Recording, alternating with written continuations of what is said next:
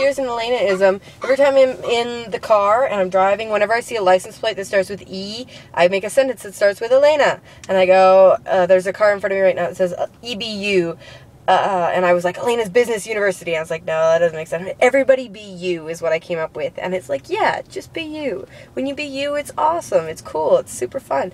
And um, I had somebody say to me that I don't, they said, I don't even know what being me looks like. And I was like, well, how could you, but how could you be anything but you is my question. Even when you're being crappy. The, the the thing about it is like okay so maybe you don't think you're being you but you are.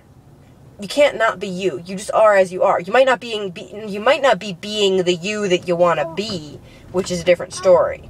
If you're if you're not being the you you want to be then get on her. What you need to do, ah, okay. What you need to do if you're not being the you you want to be is you need to find a safe space to be the you you want to be. Because a lot of us walk around being somebody else because we're scared of showing the us that we want to be.